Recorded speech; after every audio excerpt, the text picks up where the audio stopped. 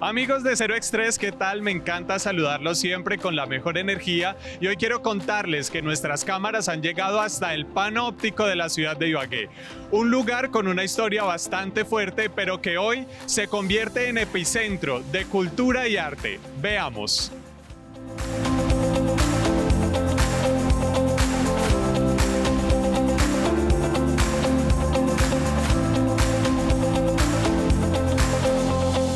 Bueno, y nos encontramos con Gracie Fuentes, secretaria de Cultura de la ciudad de Ibagué. Grace, bienvenida a las cámaras de Cero Express. No, gracias, siempre contenta de estar aquí compartiendo con todos ustedes las buenas noticias para el sector cultural de la ciudad de Ibagué. Los avances culturales en la ciudad de Ibagué no paran y ahora en el panóptico, Grace, contémosle a todos nuestros televidentes qué significa este avance para la ciudad de Ibagué.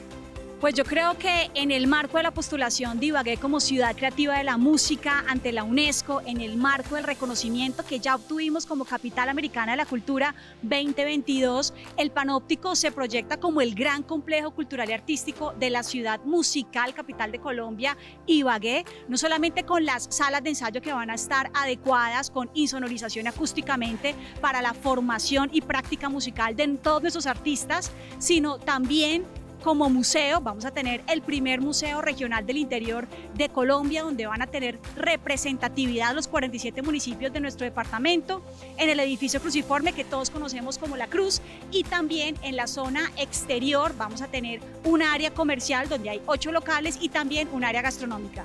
Entonces, sin lugar a dudas, nuestro distrito creativo en la zona ADN, Área de Desarrollo Naranja Capital Musical, donde uno de los equipamientos culturales más importantes, que es el panóptico, pues está para ser proyectado y visibilizado, donde no solamente va a traer desarrollo cultural, sino también económico, social y turístico para la ciudad de Ibagué.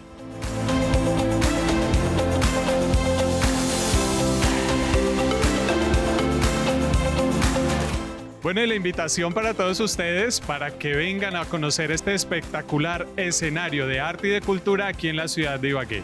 Invitadísimos a conocer el panóptico, obviamente, de la mano de Cero Express, tu estilo de vida.